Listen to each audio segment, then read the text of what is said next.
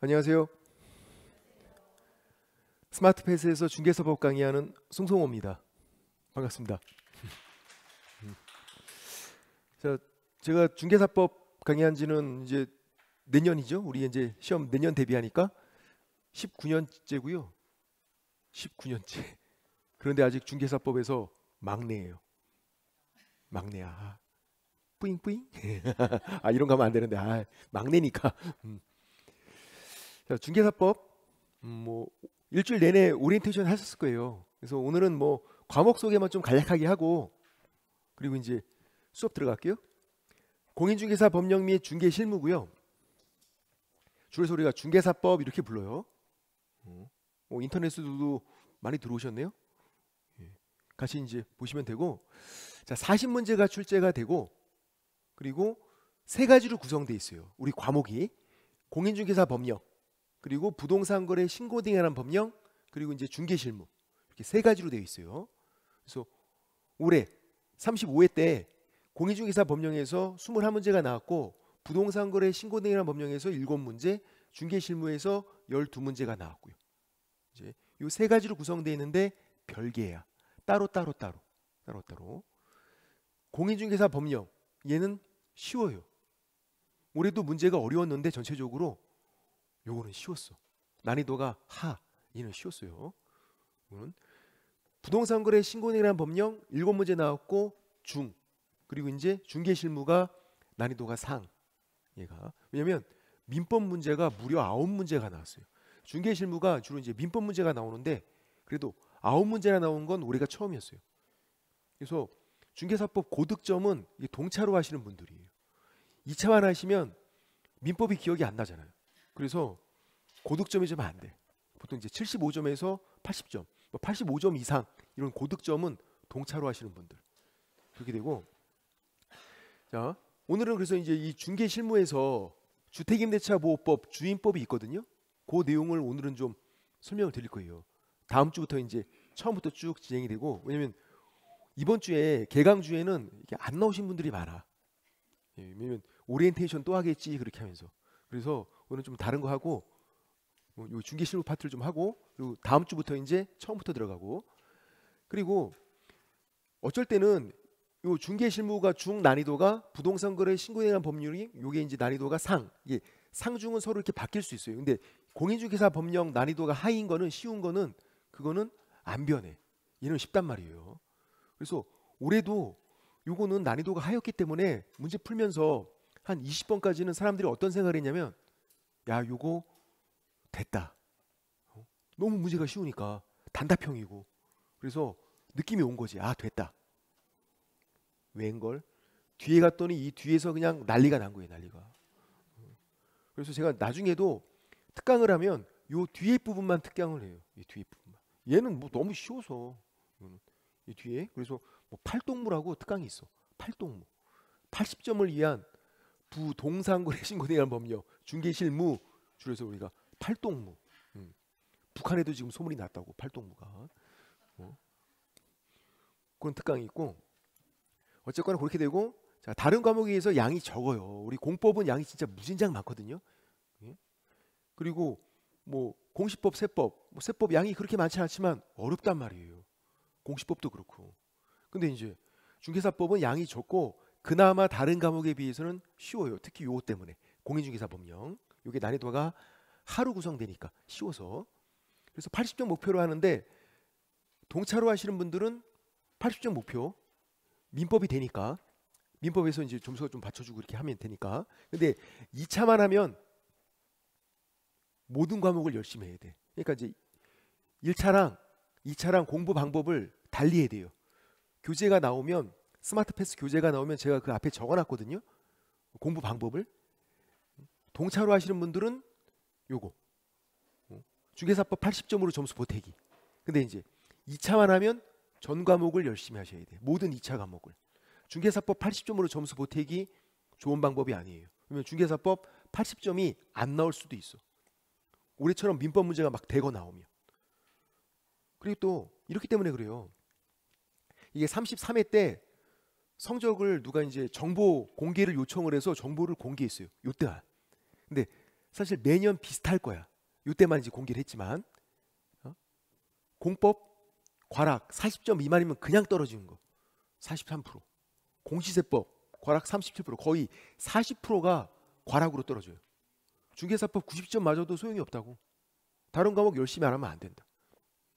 그래서 34회 때 그러니까 작년이죠. 올해가 35회 때고 작년에 2차만 응시한 사람이 대략 한 3만 명 정도가 돼요. 2차만 본 거. 1차 합격하고. 근데 그 중에서 만 명만 합격했어요. 2만 명은 떨어졌어. 합격률이 40% 정도밖에 안 돼. 이런 분들은 공부를 좀 늦게 시작했거나 뭐 5월 달쯤에 천천히 하자. 그런 분들 위험해. 떨어질 수 있고. 그리고 중개사법 고득점으로 점수 보태자. 안 된다니까요. 과락이 지금 이렇게 나오는데. 그리고 동차만 하시는 분들은 보세요. 동차. 그러니까 동차로 하시는 분들 민법 과락률을 보세요. 56%야. 민법은 진짜 열심히 하거든요, 우리가. 1년 내내 진짜 주장창. 매일 하는데도 절반 이상이 과락으로 떨어져. 그러니까 동차로 하시면 정말 민법은 열심히 하셔야 돼. 요 정도면 되겠지. 본인이 판단하면 안 돼. 진짜 열심히 하셔야 돼요. 절반 이상이 과락으로 떨어지니까. 민법만 되면 나머지는 그냥 다 되게 돼 있어. 이 시험에서 공인중개사 시험에서 민법이 차지하는 그 비중은 70% 이상이에요. 민법만 되면 다른 과목은 된다. 간혹 이런 분들이 있어. 선생님 저 민법은 잘하는데 중개사법은 잘 못하겠어요. 확. 어서 그렇게 뻥을 치고 있어. 민법 잘하면 중개사법은 같이 잘할 수밖에 없다고. 그래서 민법 공부를 매일 하자. 동차로 하시면 그리고 이제 2차만 하시면 모든 2차 과목을 열심히 해야 된다. 어, 잘못하다간 어, 공법 50점만 해야지 그러다가 과락 맞을 수 있으니까. 됐고 그리고 올해죠 35회 때 제가 문제를 이렇게 분석을 해봤어요. 근데 이게 패턴이 사실 보니까 거의 매년 비슷해. 그러니까 이제 약간 이런 패턴으로 정해진 거예요. 시험이 이해 문제 이해하고 있으면 풀 수 있는 문제 거의 절반 정도 나오고요. 그리고 이해를 안 하고 있어도 내가 정확히 외우고 있으면 풀 수 있는 문제 만만치 않아. 그러니까 이해만 한다고 되는 것도 아니고 암기만 한다고 되는 것도 아니에요. 이해 암기를 같이 해야 돼. 그런 짬뽕 문제도 있으니까. 주로 이거 이제 민법 문제가 그래요. 민법 문제는 이해도 해야 되고 또 암기도 하고 있어야 돼요. 쉽지 않죠. 그리고 이제 박스 형태 문제, 박스에서 기억, 니은, 디귿 써 있는 거 그런 문제가 10문제 이상 나와요. 작년에 34회 때는 19문제인가 그랬어. 이 박스 형태 문제가.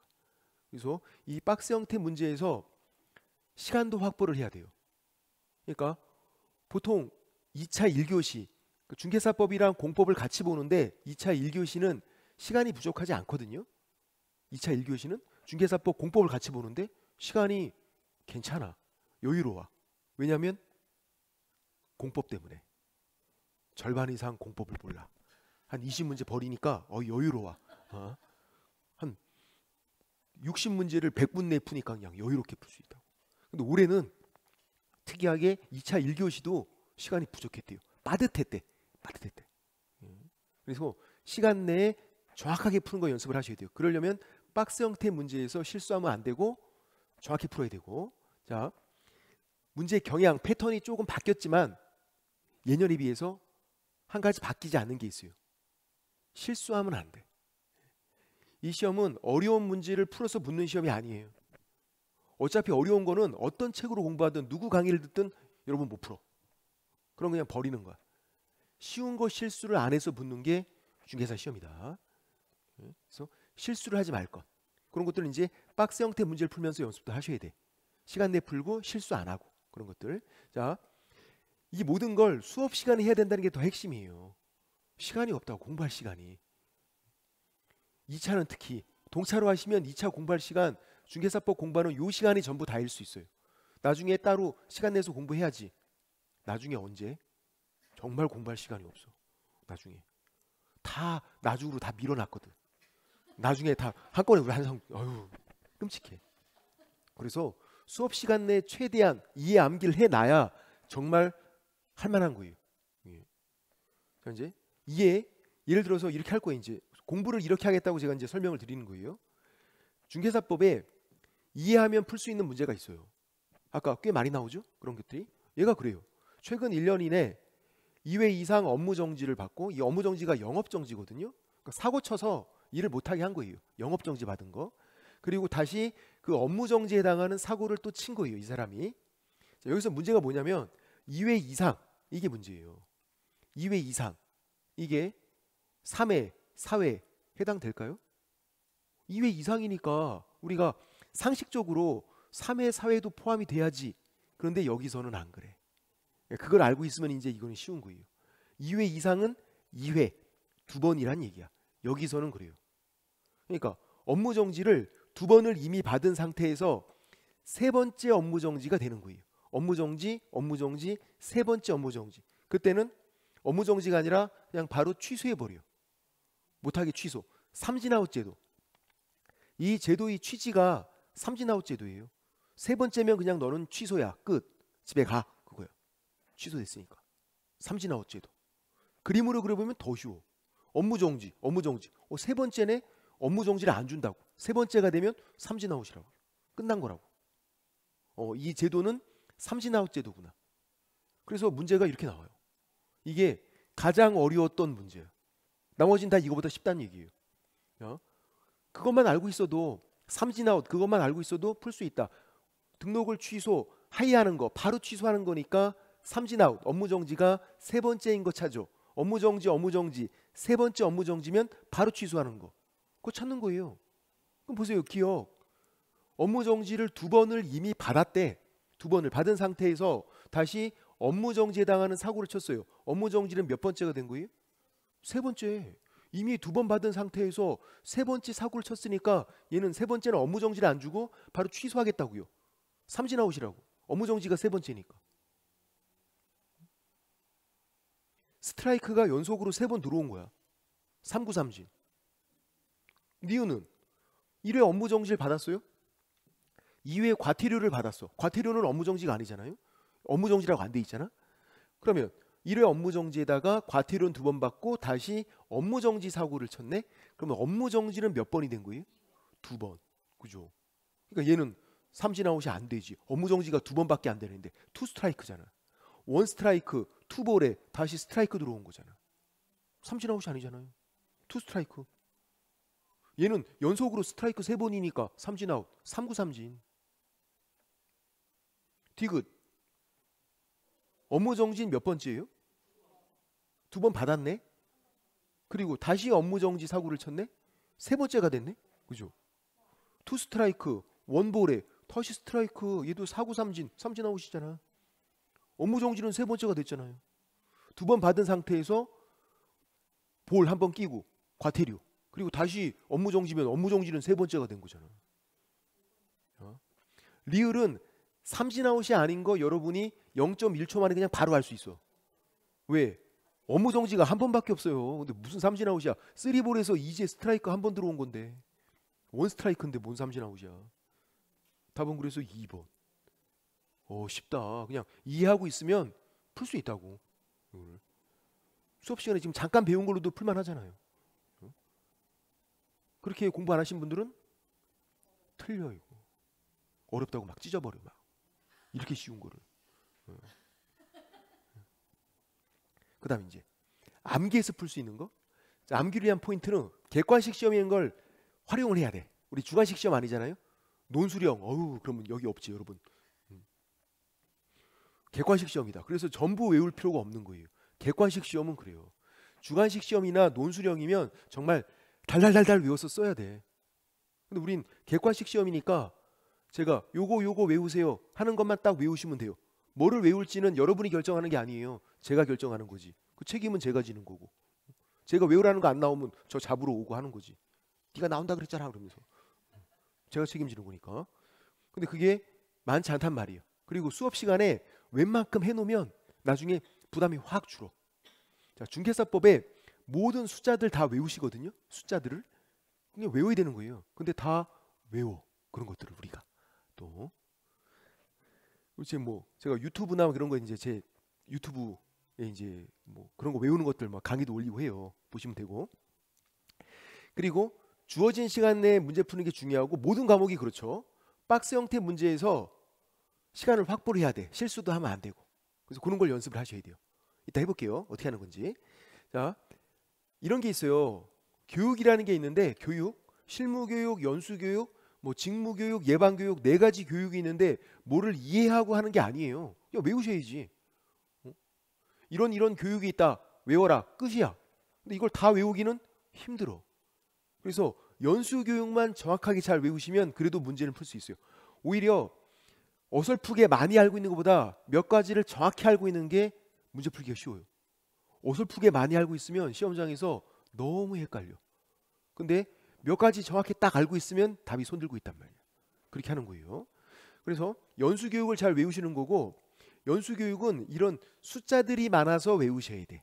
교육 시간 12시간, 16시간 이런 것들 다 외우시고 해야 돼. 지금 외우라는 게 아니라 그래서 이런 거 뭐 외울 때 나중에 뭐 그림 그리면서 막 외워요. 이렇게 연, 이응, 이응이에요. 시옷, 수교육, 이응, 시옷, 연, 수교육은 12, 16, 8룬, 8룬 이렇게 그냥 그림 그려보는 거예요 그냥 연, 수교육은 12, 16, 8룬, 8룬 팔이 좀 짧아. 요거 제가 만들 때 그 팽수가 유행해서 팔이 좀 짧아요. 음. 확 같이 또 팽수도. 연, 수교육은 12, 16 이런 거 외우고 그리고 특이하게 연수교육만 제재가 있어. 다른 교육은 교육 안 받아도 어떤 제재를 안 받거든요. 근데 연수교육을 안 받으면 500만 원의 과태료. 연수교육만. 그래서 우리가 오연수 이렇게 외우죠. 연수 교육은 500만 원 이하의 과태료다. 오연수. 누군지 아세요? 오, 탤런트. 손지창 와이프잖아. 그지? 다음에 물어보면 모른다고 하세요. 자기 나이가 탄론하잖아. 모른다 그래야죠. 뭐 하는 소리야? 모른 척하고 있어야지 그렇게. 오, 오연수 알지. 손지창 부인이지 그런 거. 손지창은 누군데? 임재범 동생이야. 그죠? 그건 잘 모르시더라고. 손지창이 임재범 동생이에요. 가수 임재범 동생. 음. 이복 동생이야. 그렇죠. 성이 다른 어, 소, 아버지가 같으면 성이 하여간 그래. 엄마 성을 따라서 그래요. 어, 그 옛날에 임재범이 TV 나와서도 밝힌 적도 있고 했었는데 어쨌든 아 근데 다 필요 없어. 아유, 손지창 뭐 임재범 필요 없어. 어, 또 손지창 하면 이상하게 떠오르는 사람이 있어. 김민종이야. 필요 없어. 다 필요 없어. 우린 누구만 떠오르면 돼. 오연수, 연수교육 500만 원, 오연수 이렇게 하는 거다. 그래서 나중에도 연수교육만 잘 외우시면 된다. 나중에도 선생님 지금 시작이니까 그렇죠. 아이 나중에도 마찬가지야. 나중에 내년 9월 달에 10월 달에도 연수 교육만 열심히 보고 가시면 된다. 그럼 이제 문제가 나오면 이게 가장 어려운 문제거든요. 올해 문제는 또 너무 쉬웠다고. 가장 어려운 문제가 풀만해. 자, 이게 왜 어렵냐면 기억 때문에 그래요. 기억을 모든 수험생들이 수험장에서 처음 봤어요. 저도 처음 보는 지문이었어. 기억을. 그러면 여러분도 마찬가지지. 제가 설명을 안 드렸는데 시험장에서 처음 본 지문이죠. 그러니까 기억이 온지 X인지부터 딱 막히잖아. 그러니까 이제 문제가 어렵죠. 기억부터 딱 막히면. 근데 그렇게 문제 푸는 거 아니다. 일단 쓱 스캔을 해보는 거야. 그러면 X가 보인단 말이에요. 5는 확신이 안 서도 X는 강하게 필이 꽂혀. 디귿 연수 교육 시간은 12, 16 아까 그림 그리고 막 했잖아. 12, 16 그래서 기억은 모든 수험생이 처음 봤지만 디귿은 웬만하면 그냥 다 알고 있는 거야. 디귿. 연수 교육 12, 16. 틀렸네? 28에서 32 틀렸잖아요. 그럼 디귿이 X인 걸 아는 순간에 이 문제는 푼 거죠. 왜? 세 가지나 제껴. 디귿이 들어가 있는 게 세 가지예요. 어? 이거 X네? 제끼자. 그럼 보세요, 이제. 답은 1번 아니면 2번인데 기억은요? 공통으로 들어가 있어, 심지어 1번과 2번에. 그러니까 아무 의미가 없는 거 있어. 기억이 온지 X지에 따라서 답이 달라지는 게 아니라고요. 기억은 아무 의미가 없는 건데 그거에 이제 낚여 갖고 이제 주구장창 막 고민하고 있고 그런다고. 그럴 필요가 없는 쓸데없는 고민이잖아. 그래서 니은 리을만 보면 되는데 리을을 또 딱 보는 순간에 그냥 우리가 알고 있는 거잖아. 오연수, 오연수. 답은 그래서 또 2번 이렇게 하는 거. 그러면 시간 내에 빨리 풀 수 있고 그리고 실수도 안 해요. 왜? 답이 될 수 없는 걸 일단 제껴놓고 시작했잖아. 실수를 안 한다고. 그래서 요 모든 것들을 수업 시간에 최대한 많이 해놔야 된다. 다 하면 좋지만 다 못할 거예요. 그게 안 돼. 그러니까 웬만큼은 해놔야 또 계속 반복을 해놔야 그래야 이제 정말 나중에 레알 막 본격적으로 공부할 때 그때 할 만하다. 수업 시간에 이렇게 할 거다. 그리고 어, 당부의 말씀 몇 가지만 당부드리면 한 달간만 꾹 참고 버티세요. 공부를 처음 하시는 분들은 그냥 버텨야 돼. 일단 버티기 작전. 버티기. 요즘 말로 하면 존버. 버텨야 되는 거야. 한 달 버티면 돼요. 왜냐면 우리 두 달 과정이거든. 웬만하면 이제 한 달 버티면 나머지 한 달 버티게 돼요. 또 한 달 버티면 석 달 과정이었으면 그 한 달 또 버틸 수 있어. 이렇게 1년 동안 계획을 짜고 하는 건 별 의미가 없어. 그걸 못 지켜요. 여러분 그렇게 계획적인 사람들 아니잖아. 지금도 아무 계획 없잖아. 어떻게 되겠지 하는 생각으로 온 거잖아. 맞죠? 응? 여기서 어떻게 하면 되겠지 그런 생각이잖아. 근데 놀랍게도 어떻게 돼? 어떻게 된다니까요? 어떻게 되겠지 그게 현실이 된다고 그런 생각인데 그래서 일단 꼭 참고 버텨야 된다 그래야만 되니까 그리고 이제 나중에 책을 받으시면 뭐 필기를 따로 하거나 뭐 지금 막 대놓고 막 달달달달 외우고 그럴 필요 없어요 저랑 같이 해보고선 그냥 넘어가는 거지 달달달달 외우는 건 나중에 하는 거다 시험 임박해서 그리고 이해하고 넘어가고 이해하고 넘어가고 자주 그렇게 하다 보면 사실 웬만큼은 또 암기가 되어 있어요. 무한 반복을 하니까 1년 내내. 우리 같은 책으로. 그게 이 스마트 패스의 장점 아니에요. 1년 내내 같은 책으로. 왜냐면 정말로 제가 뭐 요 책 광고 영상에도 잠깐 찍고 했는데 9월달 10월달에 시험 임박해서 한참 공부를 해야 될 때 뭘로 공부해야 될지 모르는 경우가 거의 대부분이에요. 9월 10월달 질문의 50%는 그거야. 선생님 저 뭘로 정리해야 돼요? 왜냐면 너무 책이 많아. 중개사법만 해도 이거 이거 저거 막 너무 많으니까. 우리는 그런 고민을 할 필요 없잖아요. 처음부터 이걸로만 했으니까. 스마트 패스. 그러니까 그걸로 1년 내내 무한 반복하면 되고 수강 후기도 좀 부탁드리고. 하트까지 해놨는데 설마 개무시하진 않겠지. 예. 어쨌든 그리고 이제 오늘 할 건 뭐라고요? 어, 중개 실무에서 주택임대차 보호법 뒤에 내용, 뒤에 내용 번외로. 그래서 다음 주에 이제 다시 처음부터 시작하는 거고요. 자, 이 주택임대차 보호법 우리 이제 책에서 210페이지죠. 그러니까 굉장히 뒤에 부분이죠. 중개 실무 주택임대차 보호법 테마 37돼 있는 거. 총 40테마로 되어 있어요. 우리 교재가 스마트 패스가 40문제니까 40테마. 그래서 37테마가 테마 37이 주임법, 주택임대차 보호법이고 정말 놀랍게도 올해 여기서 문제가 세 문제가 나왔어. 세 문제. 처음이에요. 보통 많아야 두 문제인데 세 문제까지 나왔어요. 그래서 공부가 잘 안 돼 있으면 그냥 7.5점을 그냥 날리는 거예요. 그 점수가 잘 안 나오지. 또 그리고 또 이제 우리 생활에 좀 관련이 있어요. 주택임대차 보호법이 주택임대차니까. 그래서 뭐 본인이 임대인이건 임차인이건 다 관련이 있다고. 임대인일 수도 있고 임차인일 수도 있고. 그래서 좀 설명을 드려볼게요. 먼저 거기 1번 주택임대차 보호법이 적용 범위 이제 줄여서 이제 주임법 이렇게 부를 거예요. 이거를 상가 건물 임대차 보호법은 상임법 이렇게 부르죠. 얘는 주임법. 자, 첫 번째 적용 범위는 이 주임법 적용되는지 안 되는지 외울 필요 없다. 이건 읽어보는 거고 쉬워요. 쉬워. 작년에 34회 때 여기서 한 문제가 나왔거든요. 이 적용 범위에서 문제가 쉬웠다는 얘기야. 여기서 나온 건 이건 외울 필요가 없는 게 법조문 제목에 써 있어요. 주택임대차 보호법이라고 써 있잖아. 뭐만 적용된대요? 주택, 주거용 건물. 주택, 주거용 건물만. 비주거용 건물은 적용이 안 된다고. 어, 주택임대차 보호법이니까. 그리고 임대차가 아니면 적용 안 돼요. 매매 적용 안 된다고. 이건 임대차만 적용된다고. 그리고 보호할 필요가 없으면 또 적용이 안 돼. 보호를 해줄 필요성이 있어야 돼요. 그래서 법조문 제목에 써 있다. 그래서 비주거용 건물은 적용이 안 되고 일부를 주거 목적으로 사용해도 주거용 건물이면 일부를 주거 외로 사용해도 적용된다고요. 너무 쉬운 거야 이거는. 그래서 작년에 34회 때 문제는 뭐가 나왔냐면 거기 주의 주위에 있는 내용이 나왔어요. 뭐였냐면 주거용, 비주거용 이거를 판단을 할 때 이게 주거용 건물인지 비주거용 건물인지 판단을 할 때 등기부로 판단한다. X. 건축물 대장으로 판단한다. X. 사실상 실제로 판단한다. 현재 실제 이용 상태를 보고 판단하는 거예요. 주거용인지 비주거용인지를. 사실상 실제로. 그래서 여기 미등기 주택 무허가 주택이래요. 적용돼요. 등기가 없어도 허가가 없어도 얘는 주택이잖아. 주거용 건물이잖아. 미등기 무허가 중요하지 않다고. 사실상 어떻게 이용하고 있는지가 중요하다고. 주택이면 100% 주거용 건물이에요. 주택이라고 써놓으면 적용된다. 주거용 건물이니까. 사실상 실제로 판단하는 거. 그리고 일시 사용 임대차가 명백한 건 적용이 안 돼요. 뭐냐면 알면 너무 쉬워. 놀러 가서 민박, 펜션 빌린 거예요. 민박 빌리고 펜션 빌렸대요. 보호할 필요가 없잖아. 놀러 간 사람들인데. 이건 서민들이 주거 생활 안정을 위한 법이라고.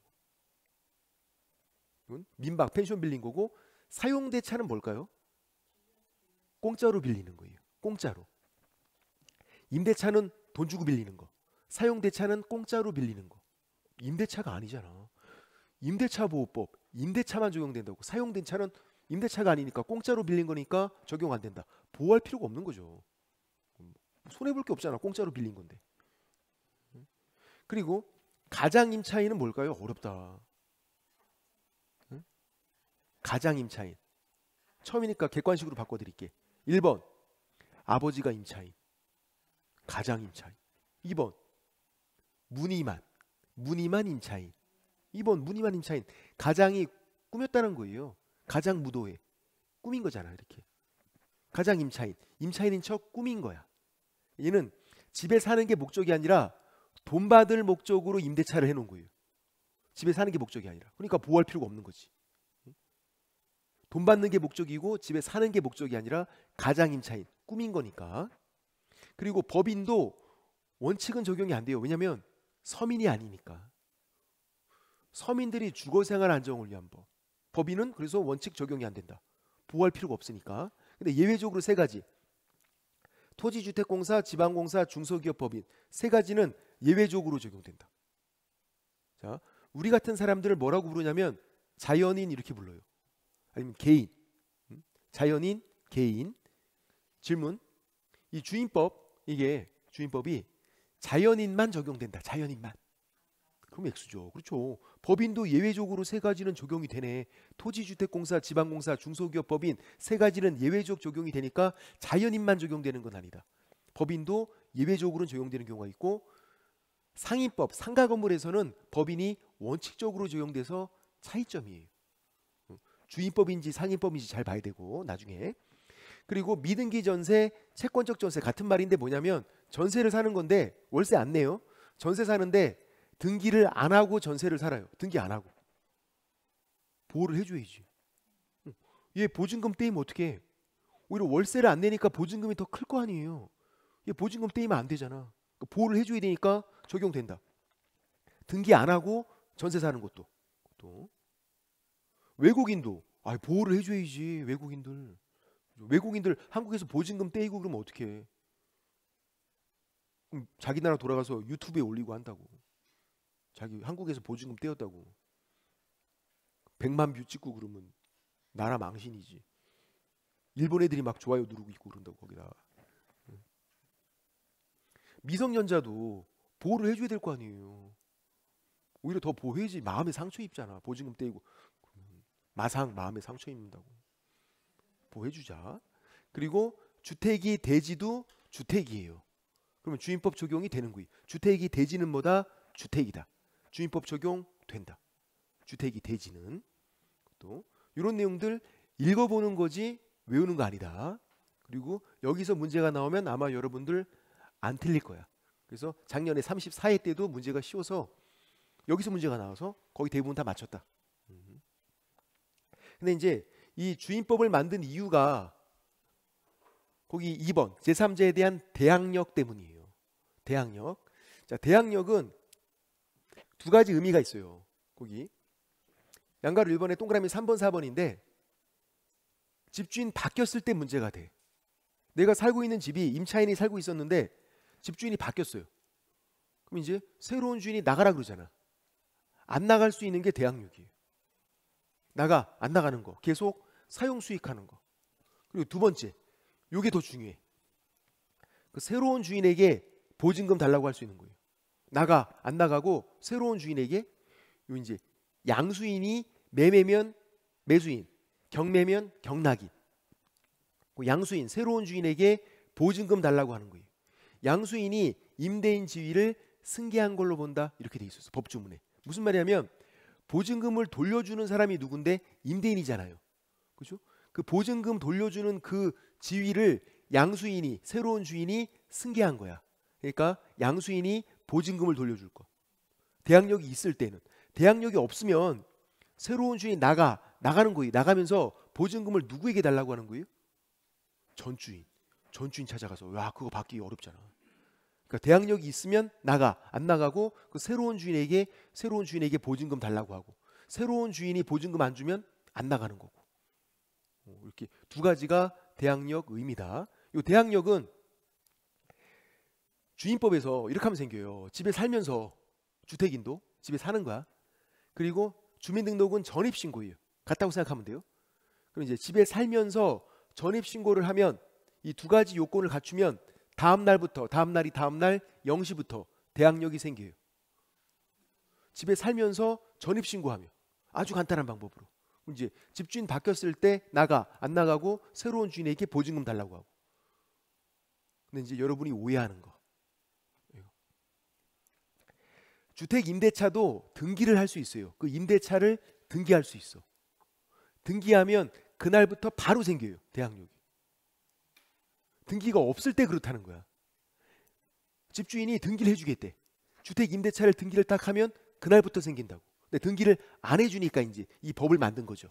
그럼 등기가 없어도 집에 살면서 전입 신고하면 다음 날부터 대항력 발생한다. 그래서 시험 문제가 예전에 정답으로 이렇게 나왔어요. 정답으로 임대차를 등기했대요. 그 임대차 등기하면 다음 날부터 대항력 발생한다. 엑수. 어, 등기하면 그날부터 생긴다고. 등기가 없을 때 그렇다는 거지. 근데 그걸 사람들이 또 와장창 낚였다고. 어 그래 주인법에서는 다음 날부터지 어, 맞는 거야. 잘 봐야지. 등기하면 그날부터. 등기가 없을 때 그런 거. 또 이제 올해 문제도 마찬가지였어요. 요 세 가지가 별개거든요. 대항력 따로 있고요. 그리고 212페이지 3번에 우선 매주권이 있고 214페이지에 최우선 매주권이 있어요. 이 세 가지가 별개야. 따로 따로 따로예요. 다른 거예요. 그러니까 뭐를 물어보나를 잘 보셔야 되는데 그걸 잘 몰라서 틀려. 뭘 물어보나를 잘 보셔야 되는데.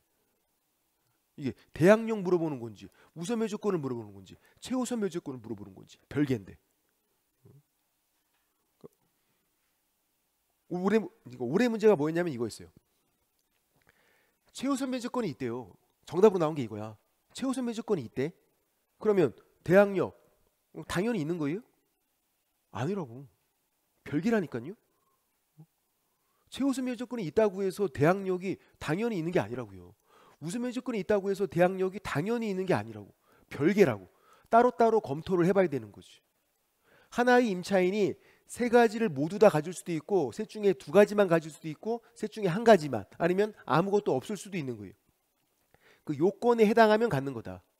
자, 대항력은 아까 말씀드렸어요. 집주인 바뀌었을 때 매매로 집주인 바뀌든 경매로 집주인 바뀌든 집주인 바뀌었을 때 문제가 되는 거고 이 대항력은 자 우선 매제권 최우선 매제권은 경매 공매 시에 주로 이제 경매 시에 문제가 되는 거예요. 매매로 집주인 바뀌었을 때는 우선 매주권, 최우선 매주권은 안 나와요. 안 나와. 매매로 집주인 바뀌었을 때는 얘네들은 안 나오고 경매 공매 시에만 그러니까 이제 경매로 집주인 바뀌었을 때는 대항력도 문제가 돼요. 집주인 바뀌었으니까. 그리고 우선 매주권, 최우선 매주권도 다 문제가 되는 거야. 그래서 시험 문제는 경매로 나와요. 경매에서는 이 세 가지가 다 문제가 되니까. 매매에서는 대항력만 문제가 된다고. 얘네들은 안 나오고. 자, 우선 매주권 계약서에 확정일자를 받아요. 대항 요건을 갖춘 상태에서 확정일자 계약서에 도장 받는 거예요. 주민센터에. 그러면 우선 매주권이 발생하는데 얘는 경매에서 누구보다 후순위보다 먼저 받는 거예요. 개념이. 그러니까 경매에서만 문제 된다고. 경매, 공매. 주로 경매. 이제 경매라고 할게요, 그냥. 경매에서 매매가 아니라 확정일자 우선 매주권 경매에서 후순위보다 그러니까 이런 개념 내가 세 번째 3순위 임차인이에요 1번 2번이 있고 내가 세 번째야 그러면 경매에서 4번, 5번보다는 먼저 받는 거야. 1번, 2번보다 먼저 받는 게 아니라 선순위보다 먼저 받는 거 아니에요? 그 선순위보다 먼저 받는 거는 밑에 있는 최우선 매조건이에요. 우선 매조건은 누구보다 후순위보다. 그리고 요 단어 보고 눈치를 채야 돼. 확정일자 이 말이 보이면 무조건 적어놔야 돼. 확정일자 보이면 무조건 적어놔야 돼. 문제를 풀 때도 우선 매조건 딱 그렇게. 확정일자 우선 매조건. 왜 그러냐면 확정일자가 대항력 요건이 아니에요. 확정일자 받으면 대항력 발생한다 그렇게 안 돼 있잖아. 요건이 아니라고. 또 확정일자가 밑에 있는 최우선 면제권 요건도 아니에요. 그러니까 확정일자는 100% 우선 면제권이야. 확정일자 나오면 무조건 적어놔야 된다고. 실수하지 않도록 확정일자 나오면 우선 면제권 경매에서 누구보다 후순위보다 먼저 받는다. 자, 최우선 면제권은 내 보증금이 소액이면서 서울에서 1억 6천5백 이하 경매가 들어가기 전에 대항 요건만 전입 신고만 갖추면 돼요. 확정일자는 요건이 아니에요. 경매가 들어가기 전에 대항 요건만 전입 신고까지만. 그러면 경매에서 누구보다 선순위보다 먼저 받는다. 내가 세 번째 3순위 임차인인데 1번 저당보다도 먼저 받는 거예요. 가장 먼저. 그럼 질문. 선순위보다 먼저 받는데 선순위보다 내 보증금 전부 다를 선순위보다 먼저 받는 거예요? 아니요. 보증금 중 일정액. 보증금 중 일정액을 선순위보다 먼저 받는 거예요. 그래서 역시 또 요 단어 보고 눈치를 채야 돼. 시험 문제가 친절하게 올해 문제는 좀 친절했어. 그나마. 어? 최우선 면제권 이렇게 써주면 쉬워. 근데 이런 말을 잘 안 써. 출지위원들이. 뭐라고 나오냐면 보증금 중 일정액에 대한 우선 변제 이런 표현을 써요. 보증금 중 일정액에 대한 우선 변제. 그러니까 최우선 변제권도 우선 변제라는 표현을 쓴다고. 그러니까 이제 헷갈리는 거야. 이거를. 근데 보증금 중 일정액에 대한 우선 변제라고 돼 있잖아요. 그럼 그건 뭐다? 최우선 변제권. 그러니까 보증금 중 일정액 이 단어가 나오면 또 무조건 적어놔야 돼. 최우선 변제권. 그럼 경매에서 선순위보다 먼저 받는다. 확정일자 우선 변제권. 경매에서 후순위보다 먼저 받는다. 확정일자 우선 매조건은 보증금 중 일정액 최우선 매조건 경매에서 선순위보다 먼저 받는 거다. 그래서 이런 단어 보고 눈치를 채야 되고 실제로 기출 문제는 그렇게 친절하지가 않아. 그러니까 우리가 친숙한 용어로 잘 안 나올 수 있다고요. 법률 용어로 막 나오면 그러면 이제 우리가 단어 보고 눈치를 채야 되는 거예요. 이 최우선 면제권이 법률 용어가 아니에요. 그냥 우리가 강의할 때만 쓰는 용어야. 법조문에는 최우선 면제권 이런 용어가 없어요. 보증금 중 일정액에 대한 우선 면제 이렇게만 돼 있어. 그러니까 그런 단어 보고 눈치채는 것도 연습을 하셔야 된다. 나중에 이제 문제를 풀면서 기출 문제 풀면서 이렇게 연습하면 되고 그런 식으로. 자 이제 경매에서의 대항력. 제가 경매에서는 이 세 가지가 다 문제가 된다 그랬어요. 매매에서는 얘네들이 안 나온다니까. 매매에서는. 매매에서는 대항력만 문제가 되고 경매에서는 세 가지가 다 문제가 되고. 그래서 올해 문제도 경매 문제였단 말이에요. 예. 거기 제가 맨 밑에 동그라미 5번에 적어 놓은 게 그건데 다음 페이지에 있어요. 그림이.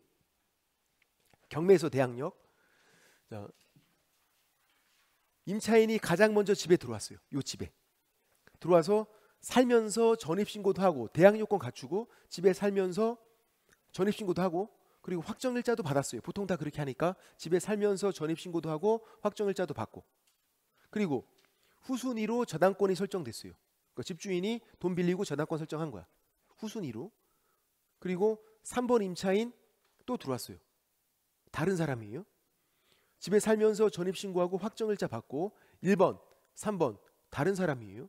다른 사람. 다른 사람이 또 들어온 거야. 1번, 3번 다른 사람. 1번, 3번 뽀뽀해. 그거는 술 게임에서 왕 게임이 있어. 그렇게 하면 안 되는데. 1번, 3번 뽀뽀해 막 시키고 하는 거 있잖아. 왕 게임. 술 먹을 때 하는 거. 그런 거. 이제 그런 게 아니라 1번, 3번 다른 사람이다. 다른 사람. 아, 요즘엔 그런 거 왕 게임 안 하는구나. 아파트 게임 하나요? 요즘에? 술 먹... 어쨌든 그래서 3번 임차인도 집에 살고 전입신고하고 확정일자 받고 이런 구조. 자 이제 이 집이 경매로 넘어갔어요. 경매 끝났어. 경매 끝나니까 낙찰자, 경락인 낙찰자가 찾아와요. 3번 임차인한테 야 너 나가 그러고 있네. 3번 임차인은 집에 살고 전입 신고도 했다고 대학 요금 갖췄다고요. 근데 낙찰자가 나가래. 나가는 거예요? 어떻게 해야 돼 이거? 아 나 집에 살면서 전입 신고 했다고. 근데 나가래잖아. 나가야 돼. 대항력이 없어. 대항력금 갖췄는데도 대항력이 없어요. 왜 그러냐면 이 경매, 공매, 그러니까 주로 이제 경매, 경매에서는 순위가 중요해. 저당권 밑에 있으면 대항력이 없어요. 저당권이 경매에서 소멸되면서 밑으로 다 죽여버려 그냥. 대항력이 없어. 위에 있어야 돼. 위에. 경매에서는 그래. 지금 저당권 밑에 있으니까 대항력이 없어. 나가. 나가야 되는 거야. 그럼 나가면서 낙찰자에게 야 보증금 줘야 나가지 보증금 내라 되는 거예요? 안 되죠.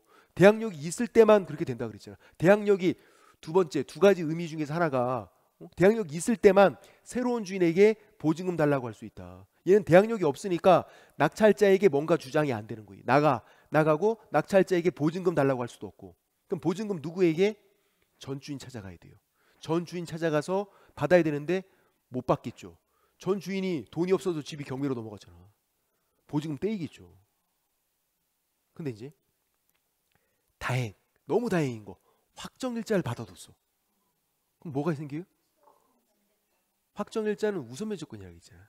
보증금 중 일정액이 최우선 면제권. 확정일자는 100% 우선 면제권 그거는 있어요. 별개니까 대항력은 보세요. 낙찰자에게 주장하는 거라고 낙찰자에게 그거는 없다고 얘는 후순위여서 저당권 밑에 있어서 근데 확정일자 받으면 법원 가서 달라고 하는 그 우선 면제권 그거는 있다고 법원 가서 달라고 하는 거예요. 별개니까 그건 돼.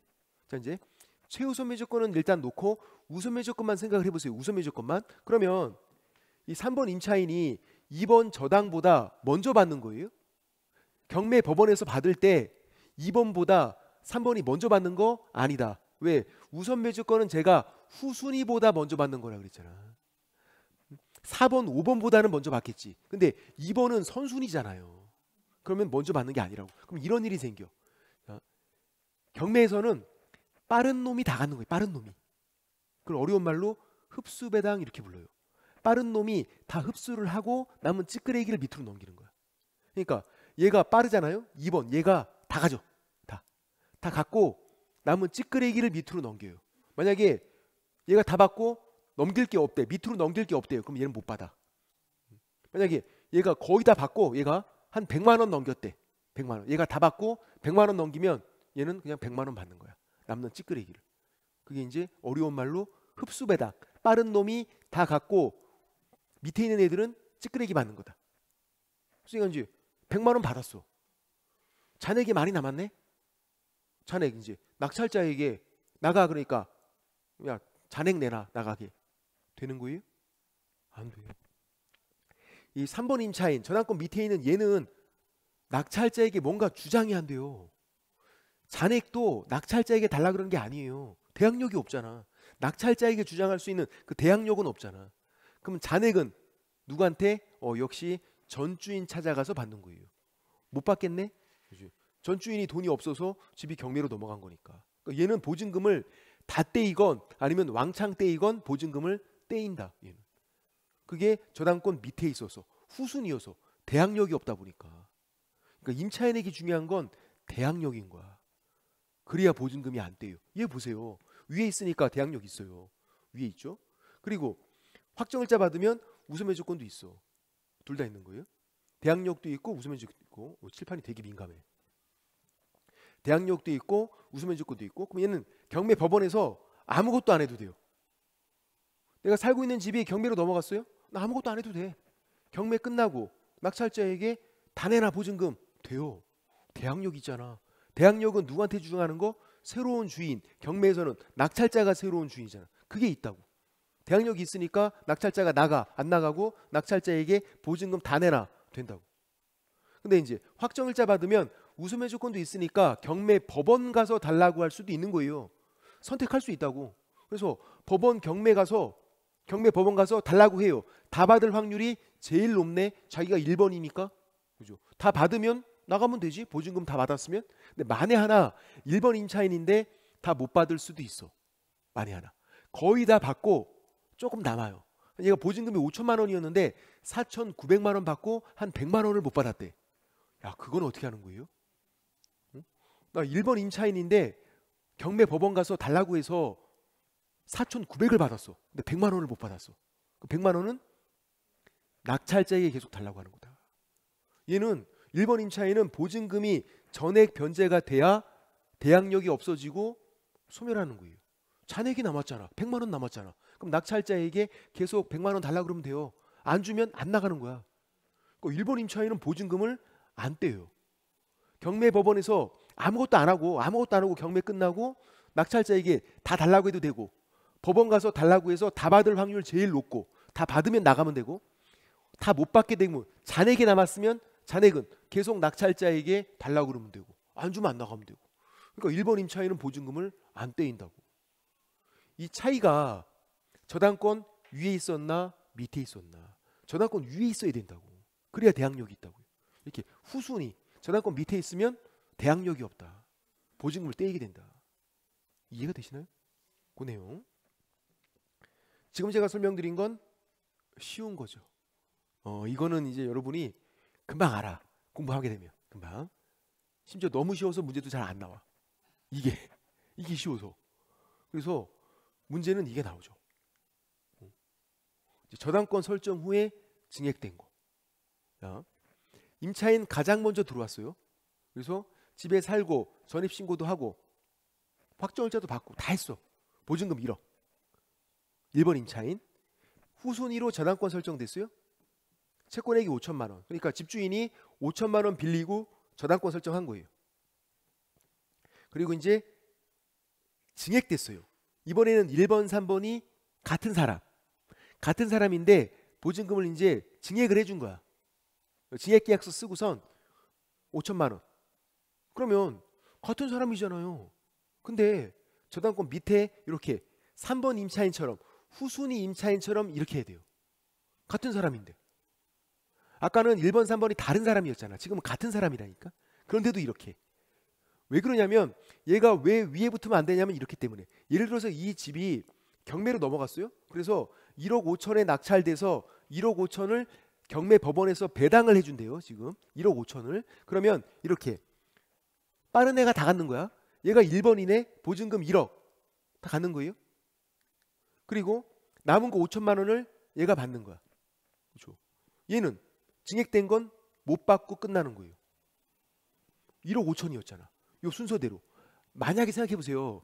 얘가 위에 붙어서 이게 1억 5천이면 얘가 1억 5천 다 받고 얘도 빵원이잖아. 이게 말이 안 되잖아. 어? 왜냐면 얘가 이번 저당권이 저당권 설정할 때 자기가 받을 게 있으니까 돈 빌려주고 저당권 설정한 거 아니에요. 근데 보증금이 증액됐다고 얘가 다 받고 야 너는 빵원이야. 이게 말이 안 되는 거지. 그러니까 그렇게 하면 안 되고 얘가 위에 가서 붙으면 안 되고 후순위 임차인처럼 저당권 밑에 이렇게 3번 임차인처럼 이렇게 하라고요. 그럼 이제 1억 5천 증액된 건 배당을 못 받고 예. 자 이제 경매 끝났잖아요. 누가 찾아와? 낙찰자가. 그래서 3번 임차인한테 근데 보니까 얘가 3번 임차인이지만 1번, 3번이 같은 사람이잖아요. 아까는 다른 사람이지만 지금 같은 사람이라고. 3번 임차인한테 나가래. 얘가 야 나 사실은 나 1번 임차인이었어. 나 안 나가는 거야. 맞아요? 어, 낙찰자가 나가래 얘한테. 나가는 거야 안 나는 거야? 나가는 거예요. 낙찰자에게 대항할 수가 없어. 왜 그러냐면 저당권 밑에 붙였잖아요. 저당권 위에서 못 받은 게 아니라 저당권 밑에서 어? 저당권 밑에서 못 받은 건 그거는 낙찰자에게 대항할 수가 없다. 저당권 밑에 있는 후순위 임차인과 똑같은 거예요. 아까 3번 임차인과 다른 게 아니라고. 저당권 설정 후에 증액된 건 후순위 임차인처럼 취급하니까 낙찰자에게 대항할 수 없다.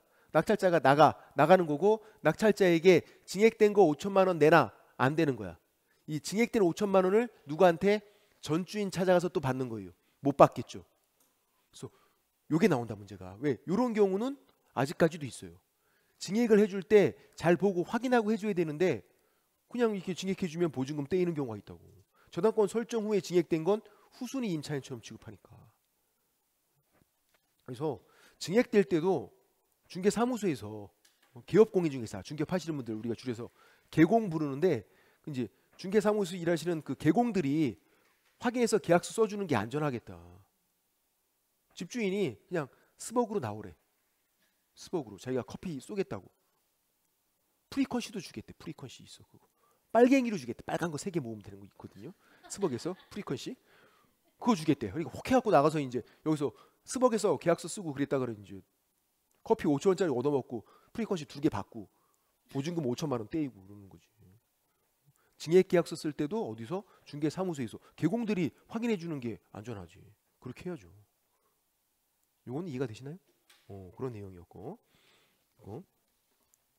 그다음. 자. 그 내용이 211페이지에 있는 내용이죠. 거기 그리고 밑에 이제 양가로 2번 주택 인도에서 문제가 되는 것도 잠깐 보면 칠판 보시면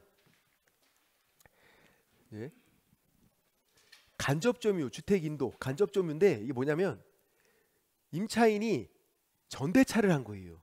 공부를 처음 하시면 이런 용어들이 어려워. 임차인이 임대차를 한 번 더 한 게 전대차야. 그럼 이제 새로운 임차인이 있죠? 임차인이 임대차를 또 했으니까 또 새로운 임차인, 그 두 번째 임차인은 우리가 전차인 이렇게 불러요. 어? 임차인이 임대차를 또 할 때는 임대인 동의받고 해야 돼요. 그래서 그렇게 했어요. 임차인이 살고 있었는데 동의받고 전대차를 또 한 거야. 임대차를 또. 그러면 전차인이 실제로 사는 사람이죠. 두 번째 임차인. 얘 명의로 주민등록이 되면 대항력이 유지가 된대요. 자, 잘 보셔야 돼. 임차인이 직접 살고 있어요. 자기가 전입신고하고 임차인 대항력이 있었어. 근데 임차인이 자기가 안 살고 임대차를 또 했단 말이에요. 그래서 새로운 사람 전차인이 지금 들어왔어요. 그래도 이 임차인이 이 대항력이 계속 유지가 된대. 계속. 그 말이에요. 임차인 본인이 살고 있건 동의받아서 전대차에서 전차인이 살고 있건 상관이 없대요. 그 대신에 실제로 사는 사람 전차인 명의로 주민등록이 돼야 되고. 자, 이런 게 아니에요.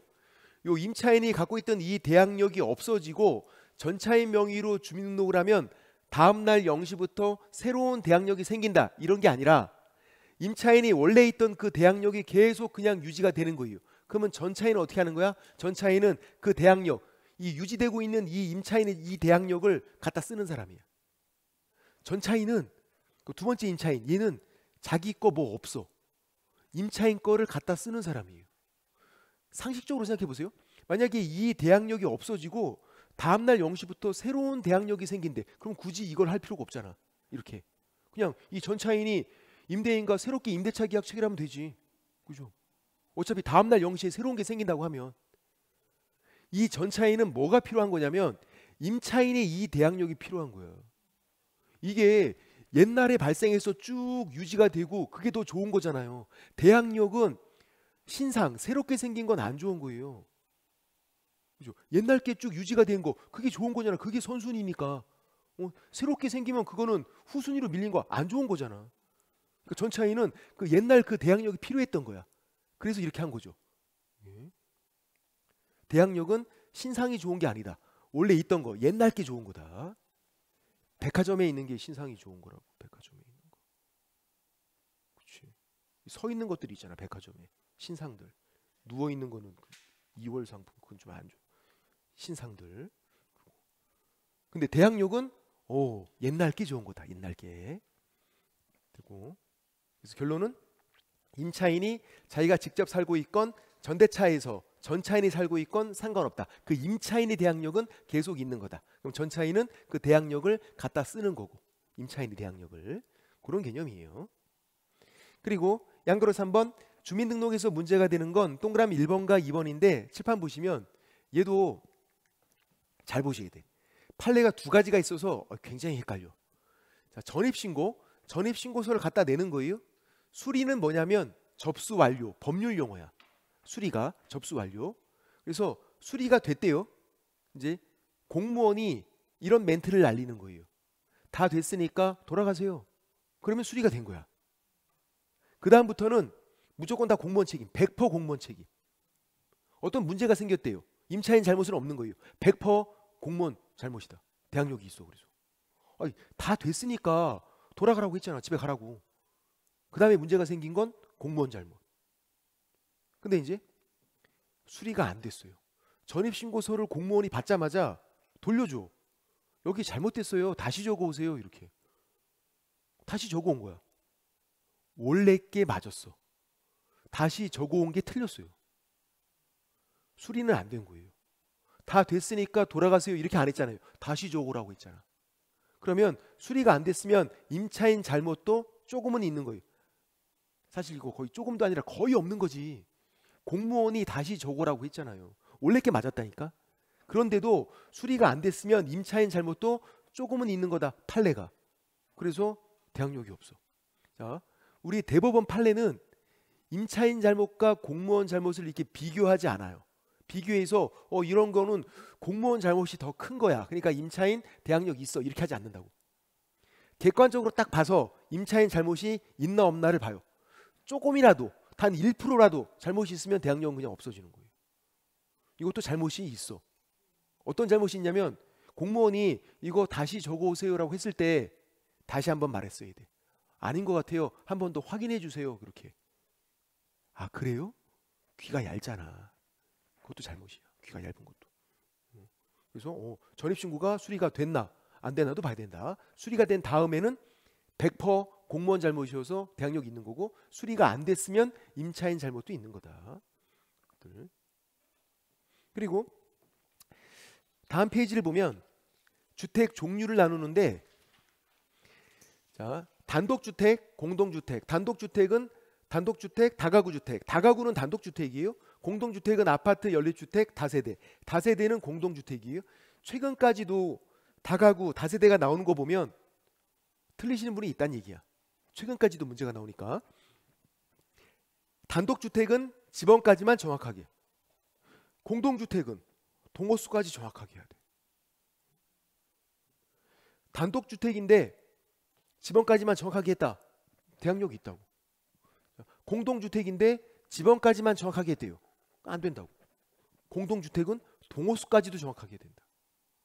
다가구는 뭐다? 단독주택. 다세대는 뭐다? 공동주택. 다세대는 공동주택이에요. 다가구가 단독주택이고. 그러니까 구분을 해야 된다고. 다세대는 공동주택이니까 동호수까지 정확하게. 왜 그래? 왜 전입신고를 할 때 이렇게 해야 왜 대항력이 있는 거예요? 너무 간단해. 배민, 배달의 민족에 뭐 시켜보세요. 아파트 살면서 동호수 안 불러주는데 배달이 와? 안 오잖아. 뭐가 와요? 쌍욕 날라와 쌍욕. 그게 뭐 하는 짓이냐고. 아, 배달도 그런데 대항력은 더 중요한 건데 동호수까지 정확하게 해야지. 공동주택일 때는. 그런 것들. 그리고 한 가지만 더 보면 거기 동그라미 5번인데 요거까지만 빨리 볼게요. 동그라미 5번. 자, 올해 나왔어요. 올해. 물론 올해만 나온 거 아니에요. 여기 있는 것들은 다 기출 지문 그리고 판리여서 시험에 나오거나 나올 확률이 높은 애들이에요, 다. 이건 올해 나왔고. 이런 경우에요. 임차인이 본인 명의로 전입 신고를 안 하고 임차인이 가족 명의로 해 놓은 거야. 배우자, 자녀 함께 살고 있는 가족 명의로 상관없대요. 판례가. 그래도 괜찮대. 왜냐하면 그런 경우가 많아요. 임차인이 본인 명의로 전입신고 안 하고 배우자 자녀 명의로 해놓는 경우도 많단 말이에요. 만약에 이런 경우에 대항력이 없다 그러면 보호를 못 받는 임차인들이 또 많아져. 너무 많아져. 그러니까 판례가 아이 그건 괜찮다. 가족명이면 그래서 이제 이런 경우에요. 배우자 자녀 그대로 두고 임차인 본인만 전입신고를 뺀 거야. 자, 아까 그 대항 요건 집에 살면서 주민등록 전입신고가 취득 요건이면서 존속 요건이에요. 계속 유지를 하고 있어야 존속하는 거예요. 중간에 전입신고를 빼면 상실해요. 계속 전입신고 유지를 하고 있어야 된다고. 또 어떻게 했냐면 가족은 두고 임차인 본인만 전입신고를 뺀 거야. 어떻게 될까요? 어 이건 그냥 유지가 된대요. 이건 괜찮대. 가족 중 한 명이라도 남아 있으면 괜찮다. 가족 전체가 전입신고를 다 뺐어 그냥 가족 전체가. 그러면 그냥 그때는 상실. 음. 그럼 질문. 가족 전체가 뺐다가 다시 들어왔어. 그럼 다음 날부터 생긴다. 맞아요? 맞죠. 가족 전체가 뺐다가 다시 들어오면 다음 날부터 새로운 게 생기는 거야. 옛날 게 유지가 되는 게 아니라. 그러니까 안 좋은 거죠. 그거는. 얘는 괜찮지. 얘는 옛날 게 계속 유지가 되는 거니까 얘는 괜찮잖아. 대항력은 뭐다? 옛날 게 좋은 거다. 어? 옛날 게 쭉 유지가 되니까 얘는 괜찮다고 얘는. 임차인만 나갔다 들어오고 하는 거는 가족은 두고. 근데 가족 전체가 빼는 순간에 옛날 게 상실된다고. 다시 들어오면 다음 날부터 새로운 거 신상이 생기니까 그건 안 좋은 거지. 그죠? 대항력은 옛날 게 좋은 거니까. 그래서 두 가지가 있으니까 이것도 구분을 해야 돼요. 그런 내용들도 그렇게 하고 이해가 되시나요? 음, 뭐 그런 내용들이에요. 어, 좀 쉬었다가 어, 거기 동그라미 6번도 설명드리고 나머지도 좀 한번 설명을 드려볼게요. 좀 쉽게요.